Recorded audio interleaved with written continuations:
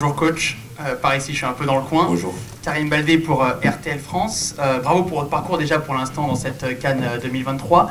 Euh, vous faites partie des euh, 11 entraîneurs français ou binationaux français dans notre pays dans cette Coupe d'Afrique des Nations. Comment expliquez-vous justement cette présence massive de techniciens, entre guillemets, enfin de techniciens français tout simplement dans cette compétition?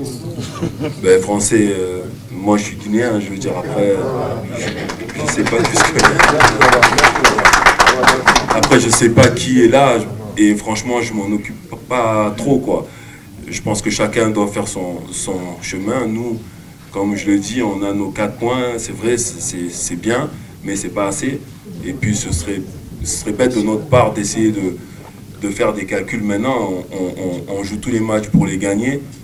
Et, euh, et on sait très bien que si on gagne, on, on sera premier, on déménagera pas. Enfin, il y a, y a plein de petites choses. euh, On jouera un, un- éventuel troisième. Donc euh, voilà, il y a, il y a plein de choses qui sont bonnes si on, si on, si on arrive à gagner ce match.